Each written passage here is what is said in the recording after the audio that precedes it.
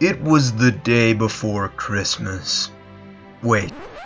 It was sometime before Christmas, I don't fucking know. Timmy's mother was taking him to the mall to see Santa Claus.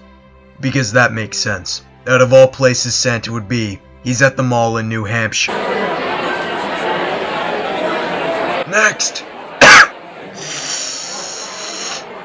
what do you want, kid? I guess an iPhone? You're actually really close, Santa. But instead of an iPhone, I'd like an Android phone. Are you serious? Is this kid fucking serious? Hey everyone, this little kid's an Android user. Can you fucking believe it?